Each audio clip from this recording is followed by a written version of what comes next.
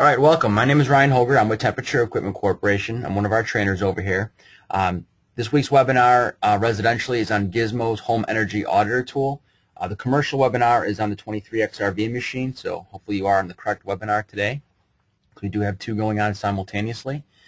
Uh, I'm going to walk you through just two or three slides here on this software, and then we're actually going to jump in and actually use the software and log into it, because that'll be significantly more interesting than me showing you pictures of it on slides.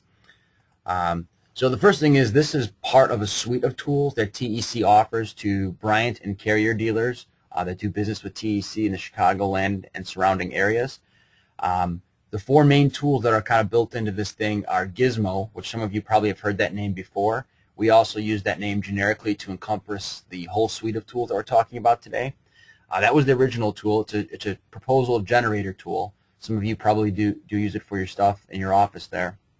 Um, you basically drag uh, drag piece of equipment onto a little worksheet and it builds your proposal based on whatever you drug it in there. So you can search for the specific furnace or AC or accessory you want and drag it all into one sheet and it'll build a proposal for you.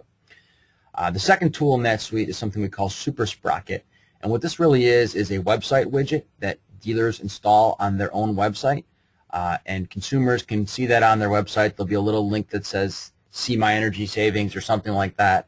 And they can plug in their address and by putting their address in there, that little tool goes out and finds information about that homeowner's house based on tax records and stuff like that, kind of like the Zillow website. Uh, but it finds that information, your square footage, when it was constructed, and things like that, and uses that to estimate what potential energy savings they might have by upgrading their furnace and AC and so forth. So it uses the address information to get square footage and home age to, to take guesses at the installation uh, and uses the address also for the zip code for the weather data and things like that. It's a pretty cool tool. It's tool. It's fairly accurate, uh, and then the homeowner um, can also they're punching in their address obviously, but they can also punch in a little more information like their phone number and email address if they choose to, and you can follow up with them to help them implement some of these savings ideas the little tool gives them. It's very quick. Takes like one minute to use. It's fantastic. Uh, and it, that same address search finder tool is what we use in the other tools here in a minute. Uh, the third tool as part of that suite is the load calculator tool. Uh, it works the same way as the Super Sprocket, except it's for the dealer and not something that's posted on the website for the consumer. Uh, so you can put in the consumer's address information. It does the same little simple analysis that the Super Sprocket does by getting the homeowner's tax information and square footage and all that stuff from the internet. Uh, but then you can go in and tweak things like, oh, I know they have this insulation, or they added this addition on, or whatever they did. Um, and you can tweak that stuff and use it to do your manual J calculation. The engine running in the background is the ACCA manual J formulas, uh, so it's basically equivalent to that. Uh, so some of you probably do use this already, and if you don't, you may start using it because uh, hopefully you all realize on the first of the year, for the state of Illinois anyway, uh, manual J load calculations are statewide required on all projects, both new construction as well as replacement equipment. So if you change somebody's furnace out, as part of the energy code compliance, you have to submit a manual J calculation for that home. This is one way to do that. Uh, and the fourth item in that suite of tools is what we call Energy Auditor, or sometimes we call it Home Auditor, um, just depending on who you're talking to. Um, and that's what we're going to work on today and show you. And it works with that same address finder to get some basic data. Uh, we basically get to do, we're basically going to do two manual J calculations in that tool, one for their current house and one for the house with the proposed upgrades that we're going to offer them. So that's what we're going to spend our time on today. The idea being if you see how this energy auditor works, you kind of got the idea of how the load calculator and other tools work because it's really the same kind of thing. Uh, here are the key sites. I also put them on the uh, on the chat box for you on the GoToMeeting service. Uh, so depending on whether you're a carrier or Bryant dealer, uh, you would either log in at carrier.virtualhvac.com or bryantvirtualhvac.com. Um, that's what I'm going to do here in a minute. Uh, if you do not remember your login or you've never had one in the past, but you are a Carrier and Bryant dealer that works with TEC, uh, Drew Bolsega is the contact, and he can set you up with it or or, or uh, reset your password if you forgot it. Uh, and then if you have questions on you know how to navigate the site and things like that um, while you're doing it, they do have a technical support number uh, that you can call, and they can walk you through some stuff like that. All right, so with that being said, instead of showing you slides of it, we're actually going to go ahead and log into it. If you guys have questions as we're going, just do me a favor and type them in the question uh, chat box there, and I'll pay attention to that every 10 minutes or so and look over at it to see if there's any questions we can answer uh, live here. All right, so here I am in my web browser. Uh, I have the carrier one opened up. The Bryant and carrier ones are basically the same thing. You're just logging in as a different dealer, and some of the logos will be different, stuff like that. But as far as how they navigate and so forth, it's all the same. So I'm going to log in as me. It remembers my password from last time. All right, now in my case, it gives me a choice of carrier, Bryant, because I had them set me up both ways so I can show dealers how these things work. Uh, but based on the people that are logged in right now, it looks like we got more carrier than Bryant guys, so I'm just going to use that one. And I know no matter what, I'm guessing wrong, and half the people won't be happy. But it all looks, looks and works the same here. Another thing I'm going to tell you, too, is I'm running this. Uh, this is an online software tool, so it's not something you install on your computer. It's running through a website. Uh, but I'm also running the, the webinar service through, through my computer at the same time, and both of these things are fairly bandwidth intensive. So it's going to be a little bit slower than if I was if I didn't have the webinar going and I was just logging in straight up. Um, so let's let you know that in advance. Uh, the other thing is the software company does recommend that you use Firefox as your web browser. Um, I happen to be using Internet Explorer. I've had no problems with it. For some reason, they just don't like Internet Explorer. So if you talk to them on the support line, they may encourage you to do that. If your IT folks let you, great. If not, then just keep using Internet Explorer. I've not had any issues with it. Um, so when you first log in, you'll see something like this. It defaults you into the Gizmo tool, which is the proposal generator. You can punch in model numbers and stuff like that. It'll give you a list of equipment down below. Probably already has a default list here. I could drag that equipment up into my little box and start building my proposal. So that's a different software tool for, for a different time there. And you can set up some of the preferences and, and baselines and weather data and things like that that go along with some of these tools. The Super Sprocket one up here on top that I got highlighted, uh, that guy there is to set up the defaults related to the widget that you would put on your website. So you have to set up these details, basically whose email address at your company do you want the lead sent to kind of thing. Um, you know, what state are you in and what's your what zip code so that way it gets the right weather data, stuff like that, um, and, and utility costs. Uh, but that's also for another day. Uh, here's how you get to the load calculator software um, that I just mentioned a little bit ago. And then over here is the energy auditor. So that's the one we're going to work on right now. I'm going to click on that guy. Now right now these tools are all separate individual tools. So it is asking me to go ahead and log in again with the exact same login I just used.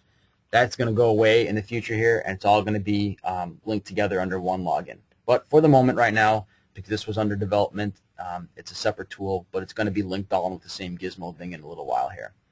Uh, on the right side here, before I click login, there are some downloads you can do um, to get some compliance statements.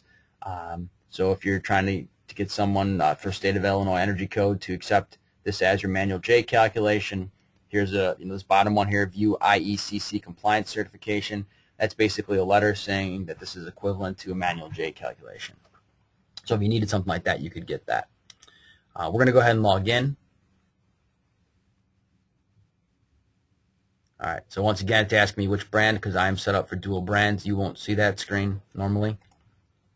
Um, it's already got my information on here, how I'm set up. So I'm, this is how I set mine up as me, basically, uh, and my address and phone number. You just got to set that up once. Um, some of the other things you can do down here, if, if you are doing an audit for someone's home, and you happen to be, you know, a BPI certified individual, you can check that box. All that's going to do is on the final reports at the end is add that logo onto that report. Um, I'm not BPI, so I'm not going to check it, but if you were or if you were NATE or whatever, you can do it. I'm LEED and I'm ASHRAE, so I'll check those boxes. If your company is an ACCA member, you can check that one. If you are an energy um, certified HVAC contractor, an HQuito, you can check that one. If you're, a, you know, a ResNet rater, you can check that one. Uh, so depending on, on what you are. But I'm going to check my two, and I'm going to click Update just so my settings are in there. All right, so now mine are defaulted to be on there. All right, as far as the audit goes, we start over here on the right side here. Um, you can uh, choose from one of your most recent ones by clicking that drop-down box um, and then hitting Go. You can also click View All and see all of your proposals and see whether they were a load calc or an energy uh, audit or what they were. In our case, we're just going to start fresh here, and we're going to type in an address. I'm going to put in my actual own house because, well, because that's what I always use for an example because I know all the information about it. Um, but if I was doing a consumer's house, I'd put their info in. So let's just say it's Joe Homeowner. And this information out here on the bottom is just going to show up on the report. So if you don't have it or if you don't want it on there, you don't have to do it. Um, the, the main info that you have to have is the address and the zip code. Those are the two things you have to have. It doesn't ask you for the city because if it has the zip code, it basically knows the city. Um, so then what I can do is I can I can do different tools down here, but we're sticking with the home energy audit for today. Like I said, if you understand that one, the other ones all make a lot of sense. So I'm not going to go to the load calculator. I'm going to go to the home uh, home auditor button. So like I said, what it does, and let's see if we can make this a little bit bigger for today's purposes. Get a little more screen surface area here. So here's the homeowner's house in Aurora. Uh, here's the guy's name, which is me in this case. Uh, if I want to start over on a new one, I can click Start a New Proposal, but I'm not going to do that. I'm going to work with this guy right here. Uh, so it gave me some basic data here. Uh, if you scroll down, it calculated that I got 2,836 square feet. It's a little bit off. Um, I'm assuming that I know the inside of my house square footage. I don't know the outside, so maybe it's just not counting the wall, insulation, and stuff like that. But if you want to adjust it, you can just slide it. So I know that mine is uh, 2690, and I'm, I'm anal, so I tweaked it. I don't know if you could see over there, but these graphs were moving up and down on the right. Uh, there's two graphs here. There's one for the exposure diversity uh, that I'm going to get, basically, you know, caused by the sun load and so forth. And I got one for my actual heating and cooling loads. If I hold my mouse over it, at any given point on one of these curves, it tells me my heating and cooling loads at that given month. And then these straight lines, the pink and blue straight lines along the top, those are my heating and cooling loads uh, for my load calculations. So right now it's based on what I have clicked on here. It's saying it's 76,000 BTUs heating, 48,000 BTUs cooling are my uh, you know annual load calcs. Uh, and then for my operating load for October, it says I don't need any cooling, and I need 34,000 BTUs in October. So it's doing these little load calcs for us here in the background as part of this whole energy audit. As I tweak stuff on some of these settings, it's going to change these loads, obviously. So the first thing I can tweak is I got to pick which direction my house has the most glass. Um, unfortunately for me, mine's pretty, it's exactly even square square footage of glass from east and west, so it's kind of for, excuse me, southeast and northwest. Um, but I'm just going to take a guess at it, and I'm going to say that southeast has the bigger glass load, even though I know northwest is identical, but northwest is the side of the house that we never use, dining room and stuff like that, so I don't care about it as much. So I'm going to pick the southeast as my main glass exposure. Um, it's taking a guesstimate at um, the square footage of my windows on each side of the house. I can change that if I want to. Uh, I don't have to accept those numbers. This is just the default that it took. So if I have gone around and measured the windows of this person's house, I can go in and enter the square footage numbers for each section of their house. This is fairly close to what I have, so I'm going to leave it alone and leave it leave it as is. Uh, but you can see that also affected my load calc. So now I'm at 76,000 BTUs heating, 51,000 BTUs cooling. Um, so these things are going to get tweaked as we go here. If I would have picked over here on the northwest side, you should see my heating and cooling loads change again. Right, so now I'm 76,000 heating, 51,000 cooling. So you can see the effect of moving moving some of these values on your loads as they're happening. And this right now is doing the loads on my existing house. Um, every once in a while, you'll do a house address, and it'll come up with 1,700 square feet. Uh, that's the default number that it's going to pick if it cannot find any information on this person's house. So you still need to do a reality check and make sure this is fine in the house. But if for some reason there's no updated tax records or the house was just built a couple months ago or something like that, uh, you're not going to be able to find it in the database. Uh, so it's not going to have all the data. So it'll say 1,700 square feet. As soon as you see that, either they really do have exactly 1,700 square feet, which is not likely, or it didn't find it, and you need to go make sure, double check all the values to make sure everything's right. Um, that's how my house used to show up years ago on this tool, but now it's all in the database. Um, you can tell when it was built. Mine was built in the early 2000s, so I'm good there. That's basically going to take a guesstimate at some of my wall construction values. I can go and tweak those values uh, in detail later on, which I'll show you how to do that. But this is just going to give me a first stab at it. Uh, I got a question from Chris asking how the default window area is calculated. I'm assuming how did it come up with these numbers here, the 195, 27, and so forth, Chris. Um, I don't know where it got those from. Um, it's not based on the actual house data, I don't think. Um, I'm not really sure how it got those. They're fairly close, though. Uh, obviously, you can change them to be more specific, but I'll have to ask the software guys where they're pulling that data from specifically. I don't think they're getting that from like the Zillow type website because I don't think it has that information in there. Um, so I'll find out where that's coming from. Um, in either case, you want to do want to make sure it's right. I'm not saying you got to get a tape measure and go around and measure every single window, but usually you can measure one window. They're usually the same size, and then you can just count all the rest to make sure it's fairly accurate. Uh, but I'll find out where the software guys are pulling the initial data from because this does change with every house that I put in here. So it's getting initial data from somewhere. Yeah, Rod's making a comment and saying that it's a percentage, a percentage of the total wall area in the house, which is probably accurate, Rod. But Chris's question is, how do they know how much is on the northwest versus northeast versus southwest, etc. So I'm not sure how they're figuring that out, but we'll find that answer. Uh, Jessica's asking about shading. Uh, there's a shading percent over here. So if the house has uh, awnings that are blocking a certain percentage of the windows, you can punch that percentage in here. Um, most of the houses that I've been dealing with so far, modern houses, don't seem to have any shading at all. But if you're in an older neighborhood that has awnings, you can do that. Or if they got you know huge oak trees in their front yard, um, you can put a percentage factor in there um, to do to handle that kind of thing. Very similar to other other software tools, other uh, like load calc type software tools. Um, so let's give me some basic data on here. Uh, I picked how old my house was, in this case 2000, what kind of fuel source I have. It defaults to natural gas, but if this is a propane customer or electric or whatever, you can change that and pick one of these other values. Uh, same with the water heating. I got natural gas defaulted here, but I could have picked something else, propane or electric or whatever I have. Uh, the next thing that you can do is you can calibrate this whole model by adjusting the consumer's utility bill. So down here it's saying that my heating load is, uh, my operating heating load is 73,000 BTUs per hour. My cooling is 52,000 BTUs per hour. This is how much it's costing me to run those things. Um, so I can do a couple different things here. If I look over here and look at some of these bills, like say they give me their July bill, and it's a fairly representative July. It's not some, you know, weird freakish July where we had no heat. I can come over here and look at it and say, oh, your July bill was X amount of dollars, and you say that's not right. Uh, what I can do at that point in time is I can use these slide bars over here to tweak it if I want to. If I move those over, you see the curve above me changed out, or I can move it back.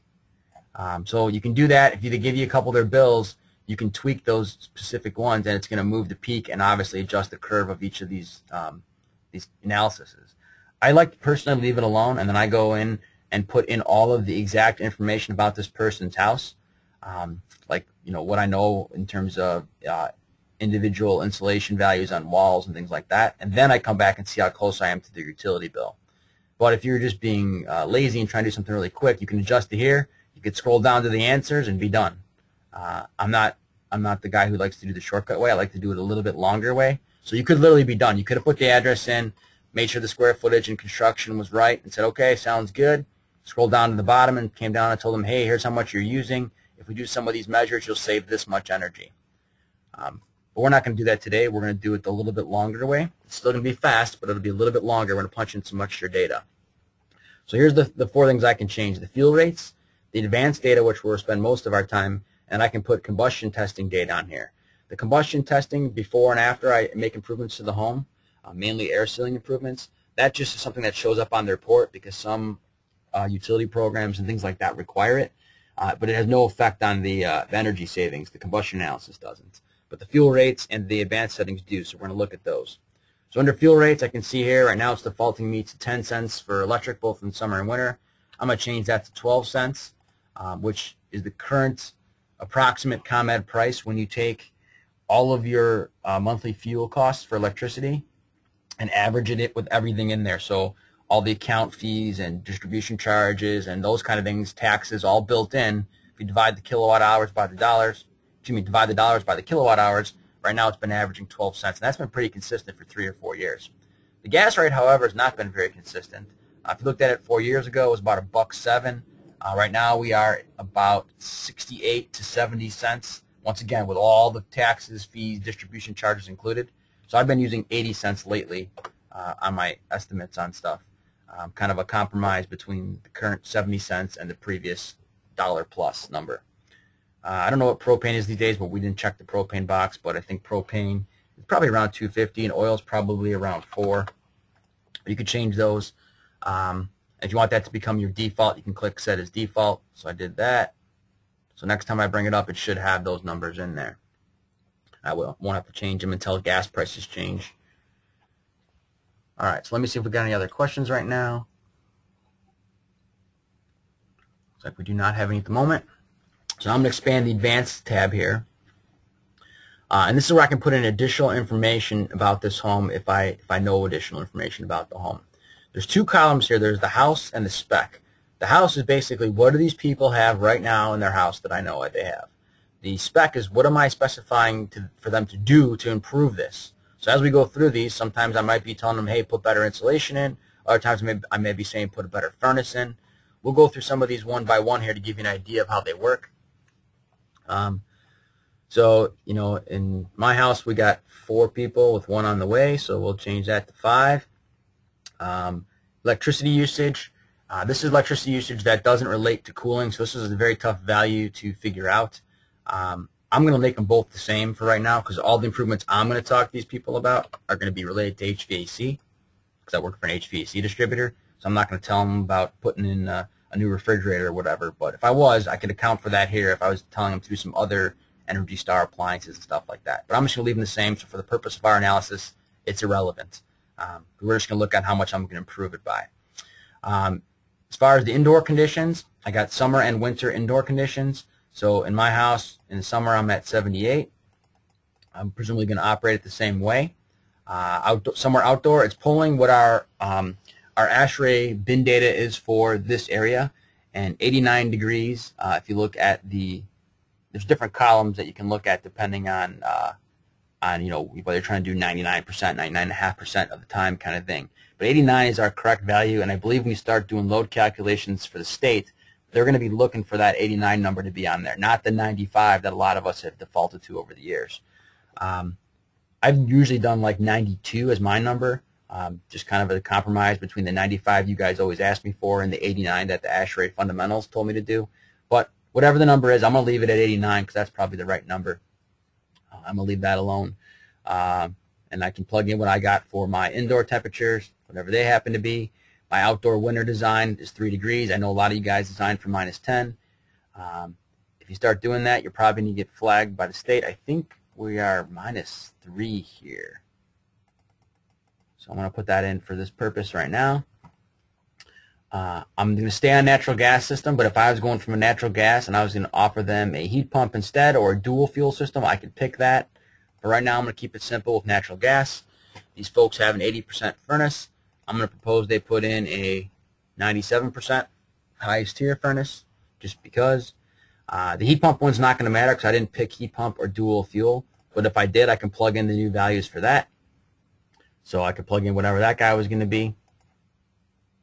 Actually, for right now, I'll just leave it down here at 7 just so that way you guys all feel good about it. But it doesn't really matter unless I pick uh, one of these heat pump choices or the dual fuel choice. But if I make them both the same, then it, you know for sure in your mind it's irrelevant. Uh, the COP goes along with that as well.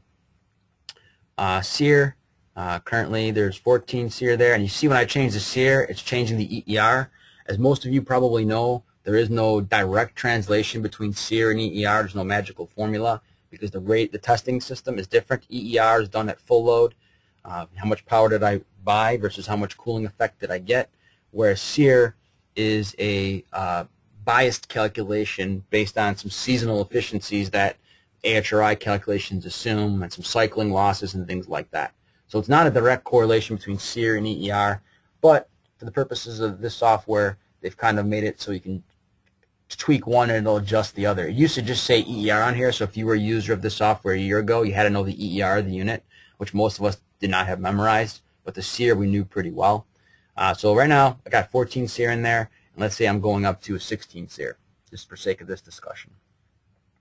Uh, the sensible heat ratio, I'm going to leave those both the same for this purpose, um, but the sensible heat ratio is basically how much sensible versus latent energy performance am I going to get out of my cooling system. Cooling system meaning the condenser, the evaporator, and the fan system working together.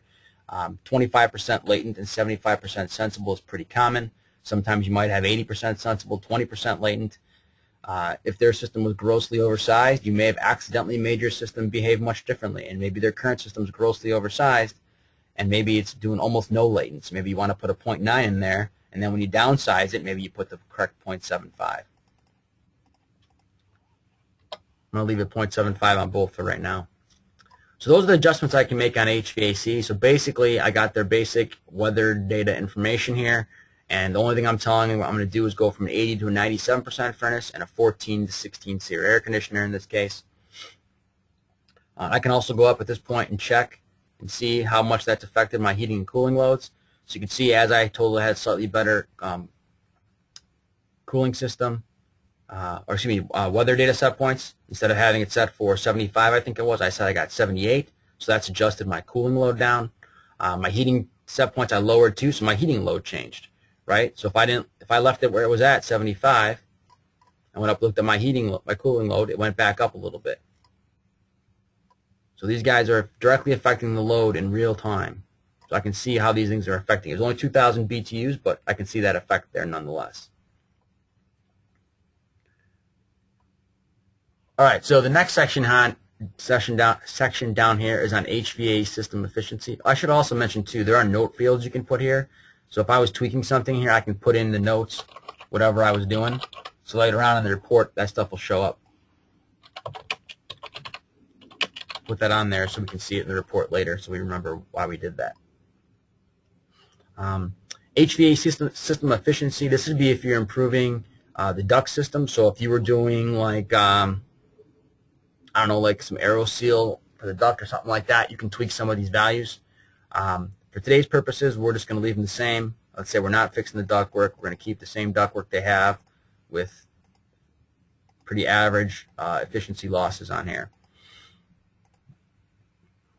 If I had um, directly ducted ventilation air. So if I had like um, uh, just one of those outside air ducts coming into the back of my furnace or something like that, uh, I can add that in here. Or if I had nothing and now I'm going to start adding it, I can start plugging in those values here.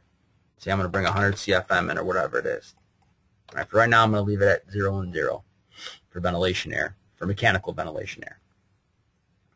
Uh, under the water heater section, all you basically have to do is tell it my fuel, which I already told it was natural gas.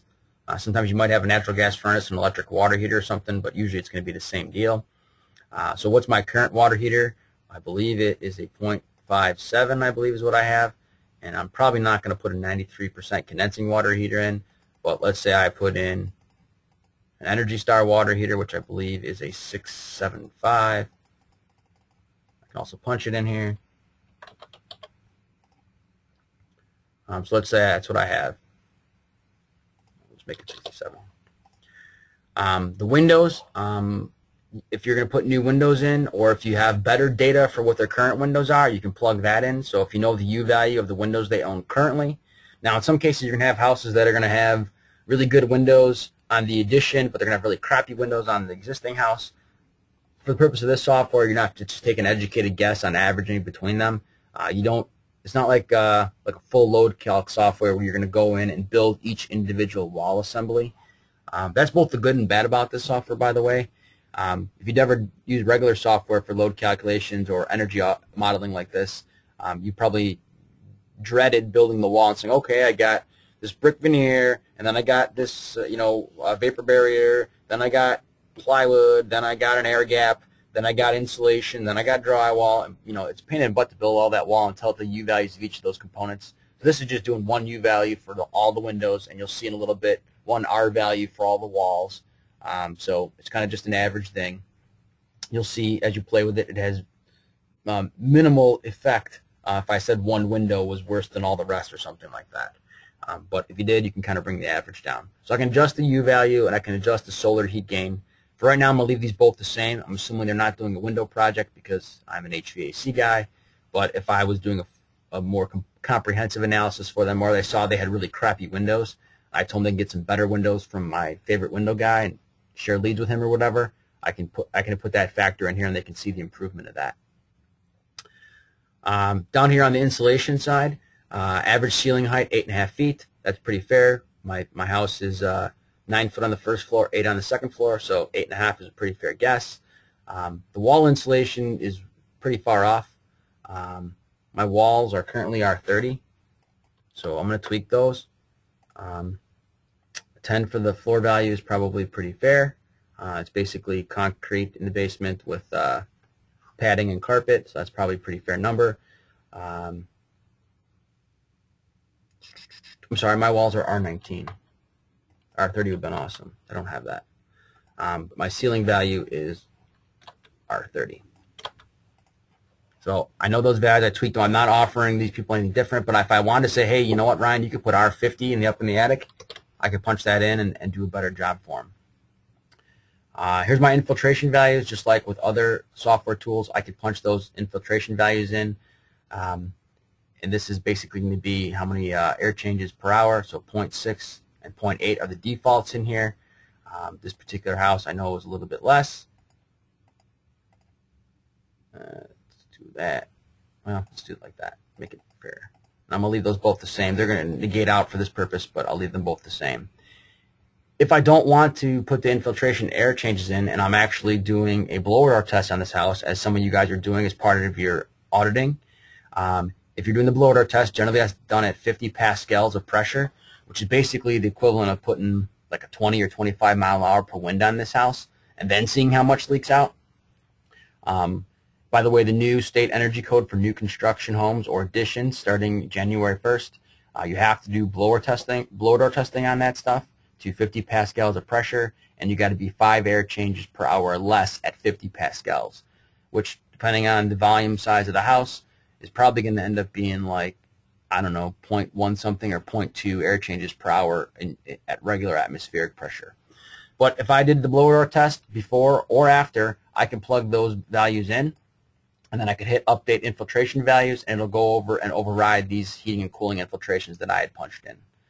Um, so that way you can blower door test before and after and see that your work actually uh, did in fact improve it. Uh, the next little bit of section here, you can define how much square feet you have uh, in specific areas like over the basement. This is a pretty good guess at my house, which is a two-story house. You saw it was 2,700 square feet. Um, so how much of that's over the basement? You know, basically half. Um, I don't really have anything over unconditioned.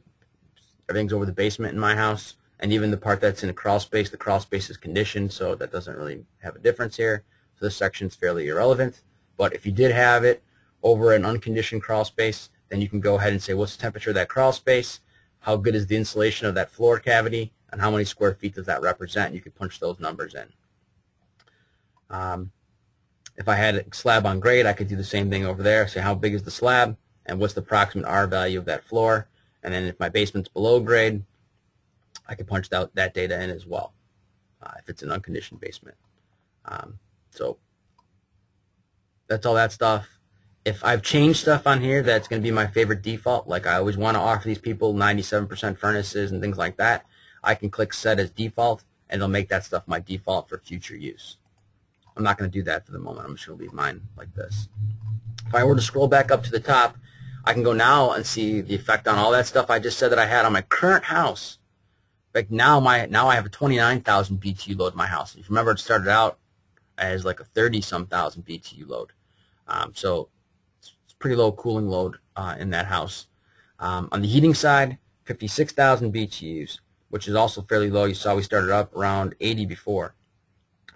The biggest thing you're going to see on this software is that you're probably going to see these loads when you do this stuff, and you're going to probably freak out and think that they're too low. Um, the only I can say to that is we compare it to other software tools and we get fairly similar results. And the only thing I can guess is that what most people are probably doing is being extremely, extremely conservative on all the stuff they guess at. Because remember, these are existing houses, so you're guessing at insulation values and all that kind of stuff. Now, in my house, I happen to know what the insulation values are, so it's easier. But if I didn't, I probably would have guessed conservatively like you would have, and these numbers would have been higher. Um, because I guess the kind of the moral of the story is, as an industry, we kind of grossly oversize HVAC equipment. So the smaller you can get these loads based on as much data as you can collect, the better. If I just took the default loads out of the software tool, I would have ended up with equipment that was one or two sizes larger, and I probably can get away with something even smaller. Um, so that's that, I guess. Um, now that I've done all that, I can go back here and look at it and say, well, how realistic are these costs? Cooling 100 bucks, heating's a thousand bucks. In reality, my heating bills last year for my gas, for the heating portion of my gas, were 600 and some dollars last year. So I know that this is even high compared to what I really have. So I could even tweak this guy even further. And you can see that my operating load's even reducing. So let's say it's 690 just for that point. So now it's 44,000 BTU load. It's basically half of what I started with. Um, so not only can I go in and punch in all the values of these people's houses that I know, but then I can also adjust the slide bars for heating and cooling here till the bills line up with whatever bills they can produce. So maybe they don't have 12 months of bills because people typically don't have all that sitting around, but they probably got November because November just happened. So I can try to get these curves to kind of line up. So if November was, right now it says November 78 bucks. Well, if the November bill was, you know, 110 bucks, I can go move the slide bar to say that they used more energy. And it adjusts the whole curve here. Um, so it is kind of a nice tool in that regard. Like I said, though, I like to go in and plug in all the values that I can find, like what's their thermostat set on. That should be pretty easy. I can walk up to it and look at that, right? And what's the AFUE of their equipment, and what kind of insulation do they have. If I don't know, I'll probably just leave the defaults, but find as much of it as you can. And then when you come back and adjust this curve, you're kind of starting off at a much more accurate point to begin with. So when you adjust it, it kind of tweaks a little bit better for those bills. Um, then as I scroll down all the way to the bottom here, uh, it tells me my, my basic usage. Let's see, we had a question from Bob. Is a conditioned basement included in the total square footage you, be, you began with? Uh, it was not. My square footage, uh, we started out at 2,700 square feet, and that was first floor and second floor, and was not including the basement. Uh, generally speaking, for load calcs in general, uh, for basements below grade, I traditionally have not done much, if anything, for plugging in basement data um, because the load is fairly minimal. Uh, I mean, you basically have, you know, five feet of dirt as your insulation around the house. But if you wanted to specify more square footage in here, so a square foot of basement below the grade, let's say that it's a thousand square feet. Obviously, it'd be the same before and after. I'm not, I'm not digging my basement out. Uh, now I can go back up and see the effect on that that it had. It basically changed my heating bill by 50 bucks. Who said it was 690? So it went up a little bit, but it has pretty minimal effect. The basement does, a conditioned basement does. Um, Bob also asked how many years of weather data is it using to average out to calculate the operating costs. Um, I don't believe that this software or any of the other energy tools that we use, like uh, Elite and those tools, are using uh, uh, actual weather data. What they're using is uh, the data from the ASHRAE handbook, um, which I don't know what that's based on. I guess we could look that up and see what that data is based on. But we use the typical 8,760 hours of bin data from ASHRAE to calculate for any given zip code or any given geographic region what the weather pattern is. But whether they base that on 30 years of data or 20 or 50, I'm not I'm not sure how many years of data that ASHRAE bases it on. But it's using the 8,760 bin hour data for that specific region. In our case, the Chicago airport data for this particular zip code. All right, so down at the bottom, uh, like I said, you can also do combustion testing in and out. It doesn't have any effect on the energy ratings or load calcs for this house. Uh, but if I were to click that, it gives me some tables I can fill out for my combustion testing. And then later on, when I do print my report, that information will be on there. Uh, we're not going to do that for today's purposes. Um, so here's the basic reports. It has the first section, and, and I'll show you the PDF printout of this stuff as well. It's like a six-page report that pops out. Um, but it's estimating the cost of operating this house is 2400 bucks. I look at their utility bill. I can say, yeah, that's about right, or no, that's wrong. Um, if I do the stuff that I improved on, in this case, put in 97% furnace, basically, here's how much I could expect to save by doing that. So and on this tool, we call it heat bleed kind of the idea of the way this data is being presented, and this same chart shows up in the consumer's printout, uh, is to show them the cost of not doing anything. Hey, if you don't do anything, you're going to continue to waste this 237 bucks. Now, in this case, it wasn't very much because the utility bills were fairly low, um, but with bigger houses where they're paying, you know, $5,000 of gas and electric costs a year, or, or older houses where they have those bills, then the cost of doing nothing sometimes is over $1,000, and it's a little more interesting. This house I chose to use just happens to be uh, a 10-year-old house, so it's not it's not it's pretty reasonably efficient. Um, then down here you get a breakdown of the individual things that we had picked and how much it would save. Uh, so just doing the heating system would have saved 110 bucks. Uh, doing the water heater would save 80 bucks a year. Um, the insulation improvements, I think all we said was go from R30 to R50 on the attic. It would be this much. The cooling system in this particular case, because the cooling requirement was so low and it already had a 14 SEER, pretty much the cooling system system doesn't do any savings to go from a 14 to 16 SEER. Um, we didn't do any of the other improvements. We said, you know, before and after would be the same, but if I listed them out, uh, it would have had an effect on these numbers here. Um, So, and it's just a matter of, you know, just based on how, how much this house was using to begin with. If this house was using a lot more energy, let's say the same person owned my house, but they didn't have the aggressive setback that I have, they didn't have the zoning system that I have, etc., and their bill was on the higher end. Let's say they're spending more for heating, right? I'll go down and look at the answers then, because that guy's using a lot more. Now instead of wasting 300 bucks a year, he's wasting a thousand bucks a year because he's got much higher set points for heating and things like that. Um, the last section down here, of what you can do before you print the report.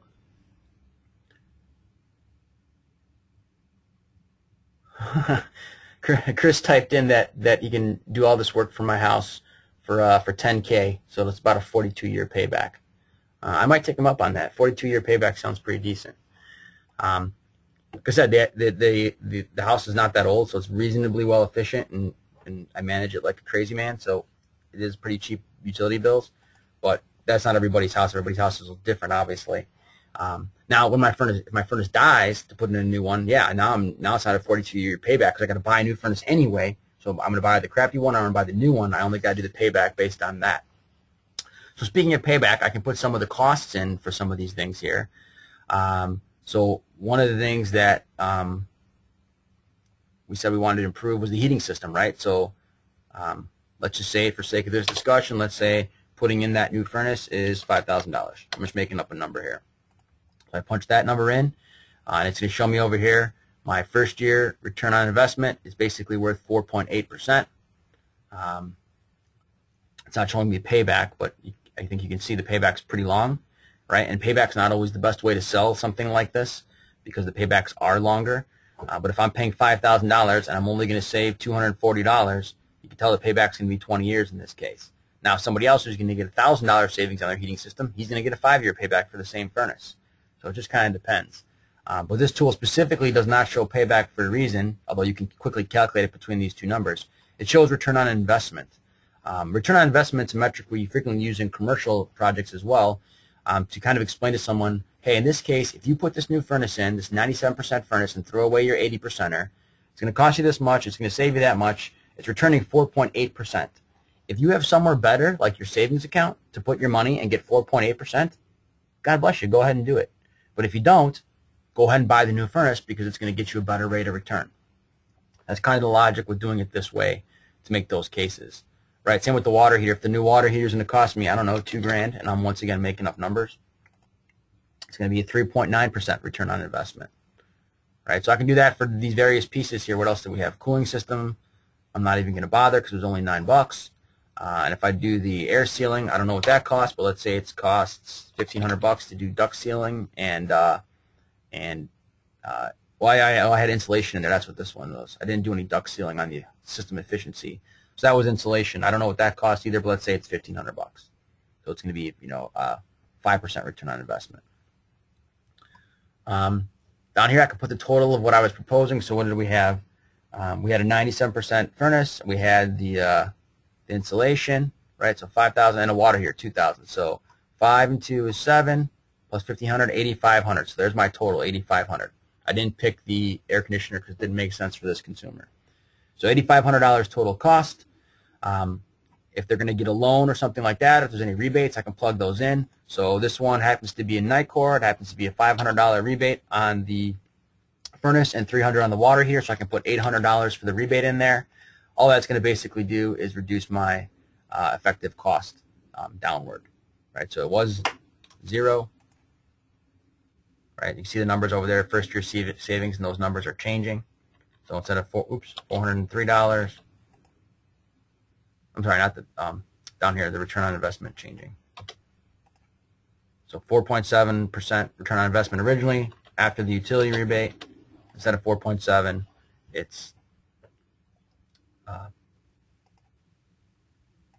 well, didn't you say 5.2? What am I looking at here? Wait a minute. Got myself lost here. Maybe I'm not, maybe I'm not waiting long enough before I keep changing the number. We'll let it recalculate. There we go. Now it's 5.2. All right. So 4.7 to 5.2 after the utility rebate um, shows me my savings over the time here. If I was going to get a loan or something like that, let's say I was getting a loan for 8000 of it. And let's say, what's the current uh, on bill? I can't do that on buy bill financing because I don't have an air conditioner, do I? So let's just say this is the five-year loan, 7% rate. Now calculate my monthly payment for me um, to tell me what the whole thing's going to be. So my monthly payment is going to be uh, $92 a month to pay for this $8,500 system with $500 down. I'm going to save $33 on a month on my gas bill, um, in this case for my water heater and my furnace. So it's basically really only costing me 59 bucks a month. That's kind of how that's going. Um, so down here, it just gives you a little reminder for the consumer, hey, you're losing 404 bucks on this house. I can get proposal by clicking this button here. And my web browser puts a little funny thing on the bottom here. I got to uh,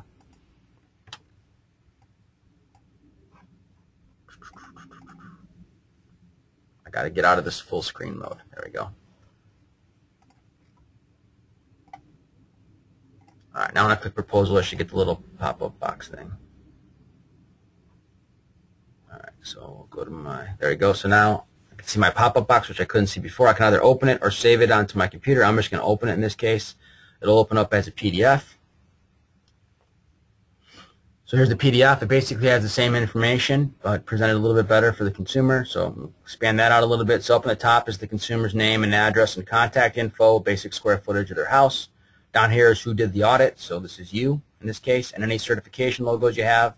In my case, it was LEED and ASHRAE, but you could also have BPI or ResNet or whatever the other logo choices were that applied to you. Up in the very top, it basically tells you how much you're wasting a year by not doing the stuff that we're recommending. In this case, 400 bucks a year is being wasted. Uh, there's some little descriptions on what some of these things mean here for the consumer. And then we got some data on the house. So on the left is the current house. On the right is the proposed house. So you can see here of what you're actually changing. Oh, we're putting in more ceiling, you know, attic insulation. Great. Right, all these other things are the same right now. Boom, boom, boom, boom. I didn't do any air sealing type stuff, just the insulation in this example. Uh, how much is my cooling cost now? How much is it going to cost? How much is my heating? How much is it going to cost? Same for the water heating on its way down. Uh, gives me those same graphs I showed you before. What are you doing now? Pink is heating, blue is cooling, light blue is water heating, Yellow is electric. In our case, we said we're leaving all electric the same. And here's this little hashed, hatched area is what's being wasted. Um, the solutions are presented in order of dollars. So in this particular case, I mean, it's based on what I had put in for recommendations. I only basically said do heating, water heating, and insulation. So those are the ones that are listed here. But if I said to do duct sealing or put new windows in or whatever, then I would have data there as well. I just chose not to do that in this example. So there's how much I saved for my furnace, my water heater, my attic insulation, and then my uh, my cooling savings if I chose the cooling option, which I didn't. All right. So that just gives me a little bit better breakdown of some of this data individually, how much each one of them is going to save and what the paybacks are. So it's all the same data you saw a minute ago. It's just presented in a uh, you know printable report you can get for them. And then here's how much we said we're going to pay for the whole thing. How much is my loan going to be? What's my interest rate? My monthly payment's 93 bucks. Um, I'm saving 33 bucks a month, etc. And then if you want further data on there based on how these loads are basically calculated, basically all my inputs for both the current and the retrofit, you can come down here and see all those input data. So that way you can see basically that no one's playing any funny games. Oh, I didn't get your savings because I said you're not going to have this be your set point anymore. You're going to have this other fake set point. I didn't trick it out. Everything's straight up. So you can give them both the inputs on, on the current and the proposed solution and see these things all the way down through. And the same thing on the cooling side of the equation. Um, specifically, where am I losing my energy for cooling? Ceilings, walls, windows, etc. People, so you can see the breakdown of the cooling loads. You can see it graphically. In this case, it's basically the same because I didn't really do anything with the air conditioner. Um, and then my uh, my sensible cooling data, heating, cooling. That's the end of my report. So really the first couple pages are the most interesting to the consumer, but if they want more information, this is where we can kind of scroll down and give them the rest of it. This is just a PDF, so you can, you know, go print it anywhere you want kind of thing. All right, so let me see if anybody else has any questions they've typed in.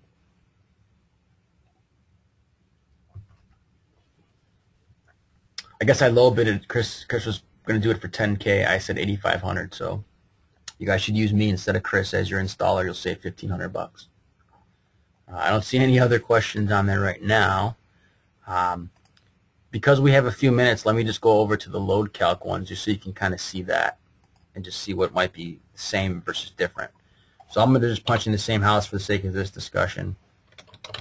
I'm not going to take the time to to go in and uh, and change all the values like I did on this one just because you already see how that basically works. Instead of hitting home auditor, I'm going to uh, hit uh, load calculator. So it does the same kind of thing. It uses the address to go find the house, does the basic load based on what it could find. I can go ahead and pick, you know, with the glass exposure that I want, adjust my sun loads and my actual load of my house, etc. I can put in more information about this house if I know it. Uh, so the square footage, for example, I can type in differently. Uh, same kind of thing. I can punch in the age of the house. I can punch in my utility costs. Uh, I'm not going to do all that now, just sake of time.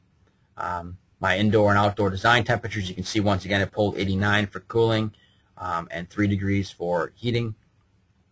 Um, and then indoor temperatures I could change to match what these people really do at their house, etc. Uh, but it's basically all the same information, and I can just tweak it just like I tweaked on the other tool. Um, and it's going to do the manual J in the background to figure all this stuff out. And I can do the individual floor data. So to Bob's question, you know, the basement, do I include it or not include it? It's up to you. It has minimal effect. Um, but I can punch that in if it's a conditioned basement, etc. Put their information in. I'm just going to leave all that as is and hit get proposal just so you can see the output of that guy. I'll open that guy up. Um, so this guy's a five-page report. It gives me some basic information about the house and where it is. I didn't even bother punching in my contact info, but it would have showed up there if I did. Here's what I based my calculation on on the house for its wall values and so forth. All right, my design conditions, indoor and outdoor. So these are my input screens, basically. Here's my actual outputs for my loads. So there's my heating loads. Page 3. Page 4 is my cooling loads. So I can see both my sensible and latent cooling load. Um, that's kind of how that guy goes along.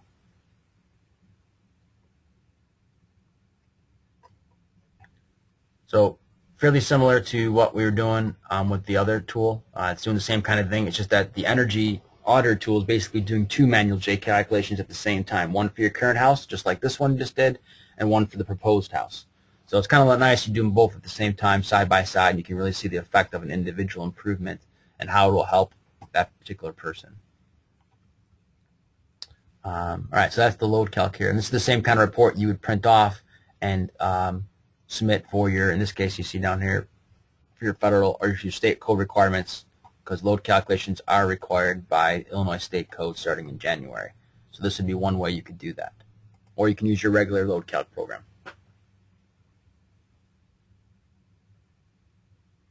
Uh, question from Bill is where is it going to tell you where the manual J printout for the village? This is the this is the load calc output. So this is the five pages that you would submit uh, as your load calculation to the village or county or whoever it is you're submitting data to. So here's your total loads right here. Sensible cooling, latent cooling, sensible heating. All right, so those, excuse me, those four right there are your outputs from the manual J calculation.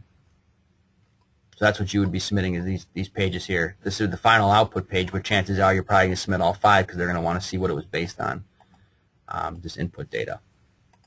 If you were doing the uh, this proposal we did before with the energy one, it's the same information that's on here. It's just you're getting everything twice, right? Before and and uh, excuse me, before and after calculations. Um, that would probably confuse them. So I don't know if I would use this one for the village because they would be seeing two load calcs side by side and they'd be like, what the heck is that? Um, so this is really more for the homeowner to see what the improvements are going to be made. But if you're just looking to get your um, village approval, I would use the regular load calc one where it just has one load calc at a time. Bill's question is, does it say ACCA Manual J actually on here? That is a good question. I don't know that it says it on the report. Mm, It doesn't say it, but I'll ask them if they can add that on here to make it a little bit easier. Because it doesn't actually say that on the report anywhere. Just just generic verbiage. So we'll ask about that one, Bill. Uh, Chris asked a question if we can use this for new construction.